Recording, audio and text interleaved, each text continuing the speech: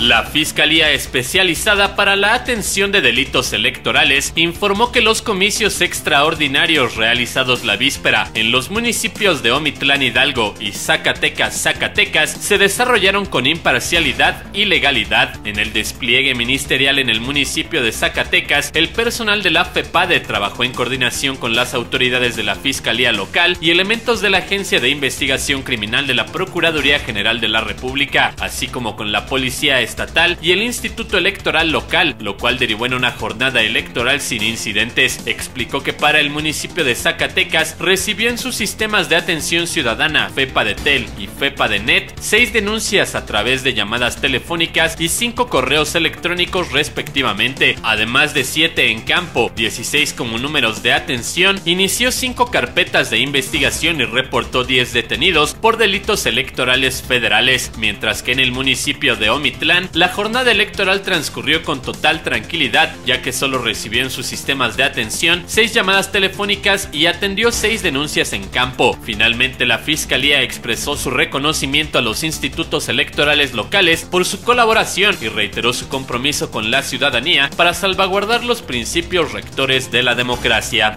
Informó para El Punto Crítico Diego Rivero.